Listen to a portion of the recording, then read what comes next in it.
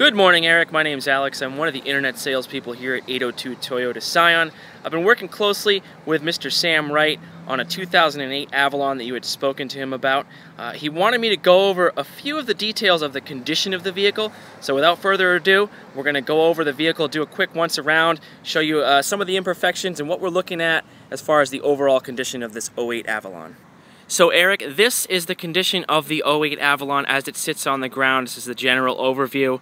I'm just to walk around really quickly so you can see overall what the vehicle looks like and then what I'm to do is I'm to do some individual cuts of some of the minor imperfections and dings on this vehicle because as you know it is five years old so there will be a few minor imperfections that Sam wants me to touch on base with you on so why don't we go do that.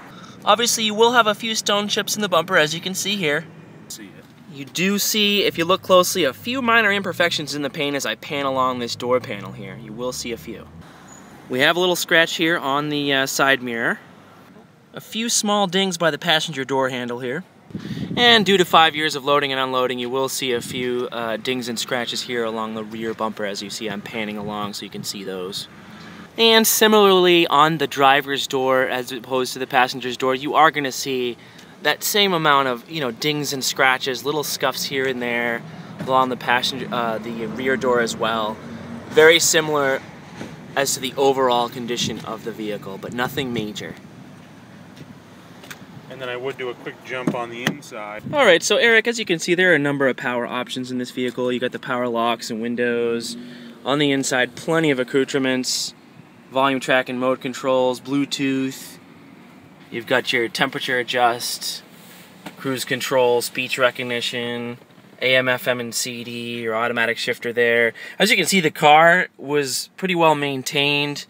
It's it's fairly clean for the year. You got your power moonroof right up here, your auto dimming rear view mirror there with that HomeLink system, and then down here those rugged all-weather floor mats, and of course, it being the Avalon, a very spacious um, back seat as well.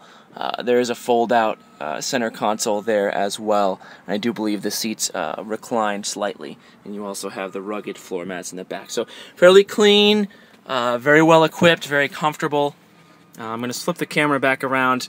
Eric, thank you for spending a few minutes with me this afternoon on this uh, 08 Avalon. Just wanted to give you an overall feel for what the condition of the vehicle looks like. But again, if you have any questions, comments, or concerns before you take your ride from Berlin, New Hampshire to Berlin, Vermont, please do not hesitate to uh, reach out to us via Sam's contact information, which we'll leave you in an email.